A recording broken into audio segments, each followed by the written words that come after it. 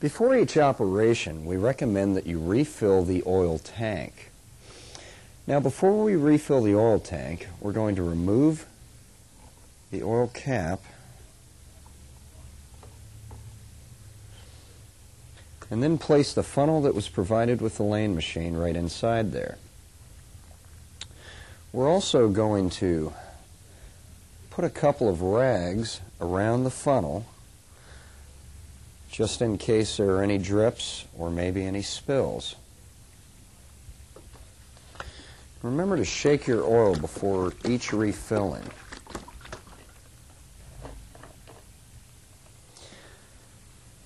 Also, pour very slow because this is a very small funnel. We don't want to overfill it and create a mess.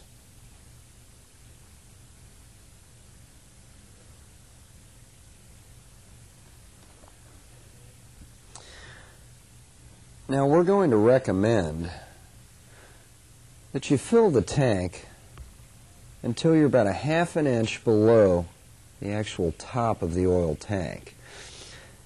That should give you more than enough oil to complete your day's oiling.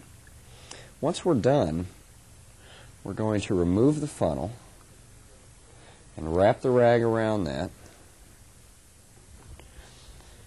and clean up any spills or drips that might have happened, and replace our cap. And the machine is now ready for use.